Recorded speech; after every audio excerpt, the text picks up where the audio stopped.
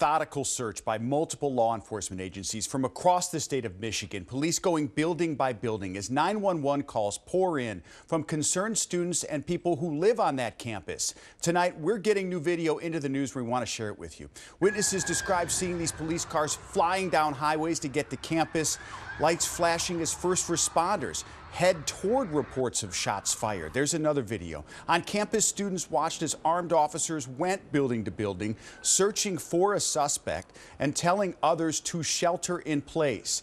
We've also seen video of students who have been rescued. Here they are.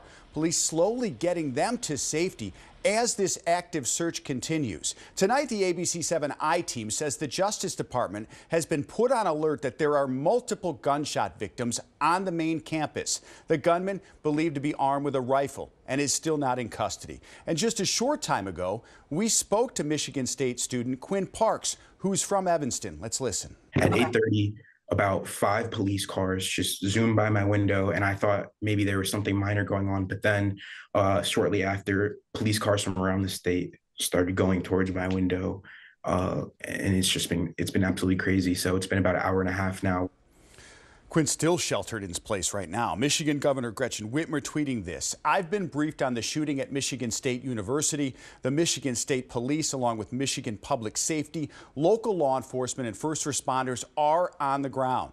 Let's wrap our arms around the Spartan community tonight. We will keep everyone updated as we learn more. We're expecting a news conference from police tonight, and if that happens during this newscast, we'll try to bring it to you live.